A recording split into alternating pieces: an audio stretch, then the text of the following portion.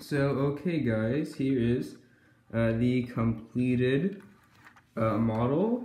So I'll just give you a quick spin around. So yeah.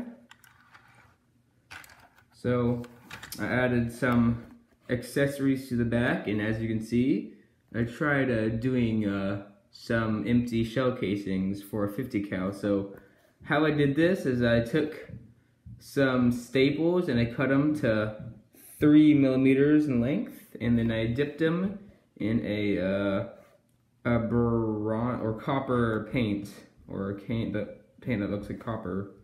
So yeah. So you can see all the different techniques I use. have the sponges, the red primer, the red oxide, uh, black, brown, and uh, white for the chips. So, yeah. I never found a piece to go right there, so I'm just to keep it like that. So, yeah. Still waiting to get a metal barrel for this, but yeah. So, I hope you enjoyed this video, and I guess I'll see you guys next time.